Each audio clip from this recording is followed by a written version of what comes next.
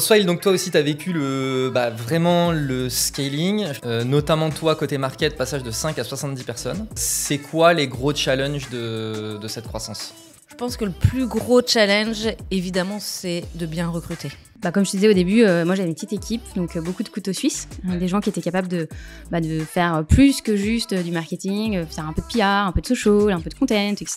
Mais en fait, quand on board 10, 15, 20, 50, 100, 200 personnes par an, je parle au global de la boîte, c'est extrêmement compliqué d'avoir un très bon onboarding et ensuite d'avoir justement une intégration, une expérience collaborateur qui dure dans la durée. Et je vais prendre des gens qui sont pas trop juniors et qui sont quand même assez forts.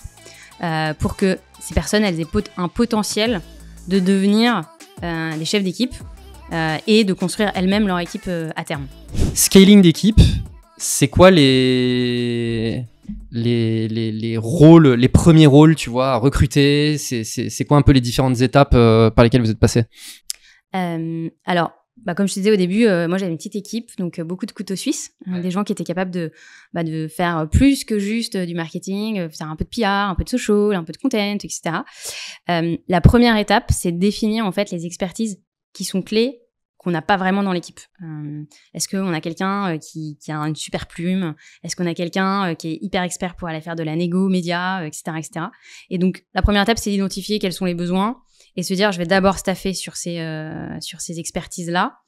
Euh, et je vais prendre des gens qui sont pas trop juniors et qui sont quand même assez forts euh, pour que ces personnes elles aient un potentiel de devenir des chefs d'équipe et de construire elles-mêmes leur équipe à terme.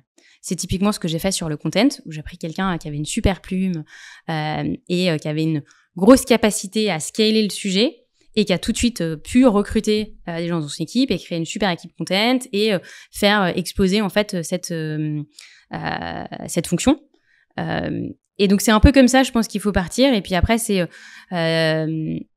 c'est en fonction des, des, enjeux. Et donc, typiquement, nous, on avait des enjeux de communication, des enjeux de brand. Et donc, du coup, au fur et à mesure, je suis allée staffer sur ces, sur ces problématiques. On commence polyvalent et après, on ajoute les expertises. exactement. Et en fait, je le vois dans, Finalement, chez La Fourchette, c'était la même chose, chez Captain Train aussi et Trainline. Finalement, plus l'entreprise scale, plus on est organisé par euh, fonction. Et donc, plus euh, tu as besoin d'avoir des experts sur le sujet euh, qui sont vraiment très, très forts techniquement et qui vont permettre en fait d'avoir un niveau d'exécution qui est beaucoup plus fort que quelqu'un qui est généraliste.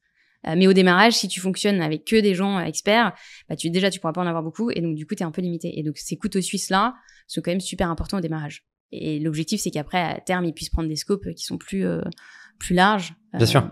Bon, Swile, donc toi aussi, tu as vécu le, bah, vraiment le scaling. Je pense qu'on peut parler de scaling euh, là. Euh, notamment toi, côté market, passage de 5 à 70 personnes.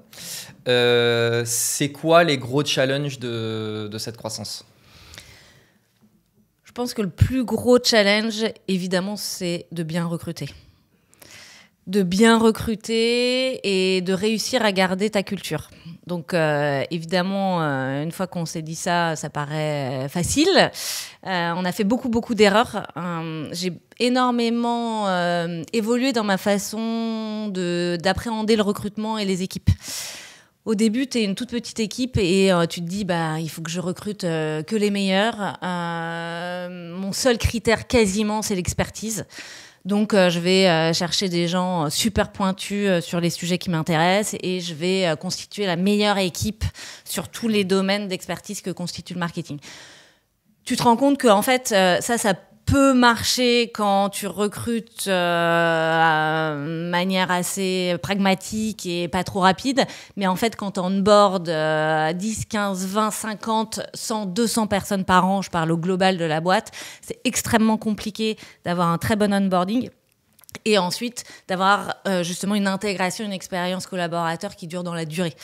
Chez Swile, on avait justement travaillé un très bon onboarding pendant une semaine mais en fait, au bout d'une semaine, les gens arrivaient dans le grand bain et puis euh, tu te prenais un train qui allait à 500 km/h. Et puis euh, là, en fait, c'est super dur. Et donc, du coup, ton sentiment d'appartenance, de, pouvoir du collectif pouvait être mis à mal parce que, en fait, euh, un onboarding, ça dure pas une semaine. Un onboarding, ça doit durer sur plusieurs mois. Et donc c'est là où, euh, avec Loïc, on a passé euh, des heures carrées à, à, réfléchir à comment designer la meilleure expérience euh, employée et qui finalement impacte vachement sur la façon de recruter des équipes, la façon de les onboarder, la façon de les faire grandir, la façon dont tu euh, set up tous tes process people. En fait, c'est toute une mécanique qui paraît simple au début, mais qui est beaucoup plus complexe qu'elle n'y paraît puisque bah, c'est toute ta culture dont tu parles qui est euh, le tuteur de cette plante euh, assez fragile qui grandit très très très vite. Euh, mais cette culture, ce tuteur, c'est celui qui doit te maintenir dans les coups de vent, quoi. Et s'il n'est pas solide, bah en fait, ça part dans tous les sens. Toi, comment est-ce que tu restes maître des sujets alors que ton équipe, elle fait x10 euh, bah déjà, c'est en m'entourant, euh, j'ai seniorisé mon équipe. Euh, donc du coup, sur chaque pôle, maintenant j'ai des têtes de pont entre guillemets qui sont très fortes techniquement et qui ont une bonne seniorité et donc une bonne expertise sur leurs sujets sur lesquels je peux m'appuyer. et c'est en faisant confiance aussi beaucoup aux équipes et en mettant en place des, une organisation hyper claire et une communication très claire sur tout ce qui se fait. C'est-à-dire que j'ai une visibilité quand même très forte de, sur tout ce qu'on fait mais je suis pas forcément dans le micro détail euh, de chaque sous-projet. Euh, donc euh, ça demande de former les équipes, de mettre en place des standards, de formaliser beaucoup de choses et que les équipes soient de plus en plus autonomes pour que le niveau de qualité soit plus fort, mais qu'on ait quand même une visibilité sur tout ce qui, sur tout ce qui sort. Et ouais. Donc beaucoup de process, j'imagine. Effectivement, tu mentionnais les procédures. Et pas des process pour les process, des process pour faciliter la, vie de tout le monde. Faciliter la, collaboration et la visibilité, euh, et, euh, et l'apprentissage. C'est-à-dire que parfois, c'est OK de se tromper. Franchement, euh, c'est fait pour ça. Mais l'objectif, c'est qu'on en retire quelque chose et qu'on soit capable de se dire, bah, la prochaine fois, OK, cette campagne, peut-être qu'on était trop dans le rush, que ce média, il a pas fonctionné ou que notre créa, n'était pas assez bien ou que notre communiqué de presse, franchement, il n'était pas assez top pour X ou Y raison, ou on a dû faire plein de rework, j'en sais rien. Bon, bah, du coup, qu'est-ce qu'on en apprend de ça? et qu'est-ce qu'on met en place comme contre-mesure pour la prochaine fois pour que ça se passe mieux? Et ça, c'est un peu euh, l'ADN Conto, euh, d'avoir une volonté de right first time euh, quand on ship quelque chose, c'est de bonne qualité, mais de l'autre côté, euh, continuous improvement, euh, c'est ok d'accepter que ce soit pas parfait la première fois, mais en revanche, il faut en prendre les learnings pour que ça se reproduise pas une deuxième fois. C'est quoi le bon moment pour se pencher vraiment sur euh, la définition de sa culture? Parce que y a, tu vois, il y a quand même aussi une réalité qui est de la même manière que quand tu montes une boîte, en fait, tu as ta vision de départ et puis en fait, elle est je vais pas dire mise à mal, mais en tout cas, elle est challengée par la réalité du marché, et tu vois, la croissance, etc.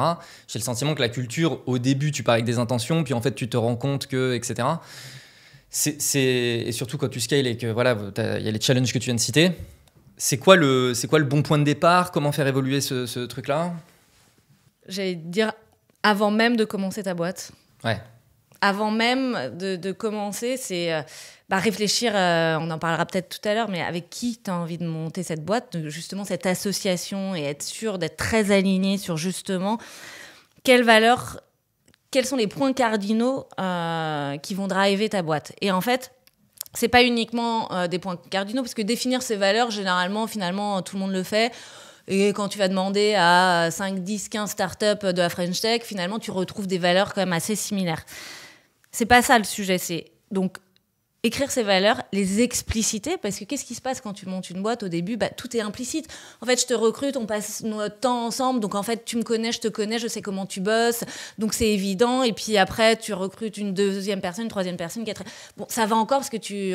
Mais ensuite, cette culture, elle se dilite complètement parce qu'en en fait, t'as pas pris le temps d'expliciter. Qu'est-ce que tu mets vraiment derrière ces mots-là? Et comment tu vas les décliner en principe opérationnel C'est-à-dire que c'est bien d'avoir des valeurs mais comment elle se manifeste au quotidien dans ta boîte.